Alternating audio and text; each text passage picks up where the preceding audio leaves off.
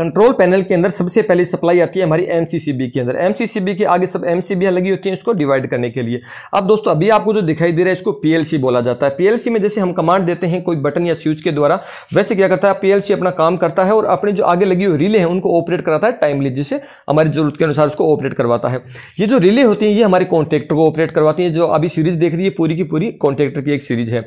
तो इस कॉन्ट्रेक्टर को ऑपरेट करवाती है कॉन्ट्रेक्टर के नीचे जो लगे हैं, ये ओवरलोड रिले ओएलआर ये प्रोटेक्शन के हिसाब से लगी है। मोटर को प्रोटेक्शन के लिए स्पेस यहाँ पे यूज़ की गई है। तो सारे के सारे जो ओवरलार लगे हुए हैं। ओवरलार के नीचे दोस्तों लगा हुआ है जी इसको टर्मिनल बॉक्स बोला जाता है, यहाँ से हमारी आउटपुट सप्लाई भी ली जाती है और हमारी इनपुट सप्लाई भी यहीं से ही कनेक्ट की जाती है। तो आपको बेसिक इलेक्ट्रिकल का काम सीखने के लिए वीडियो को लाइक करके चैनल को सब्सक्राइब कर सकते हैं। हमसे जुड़ सकते हैं और सीख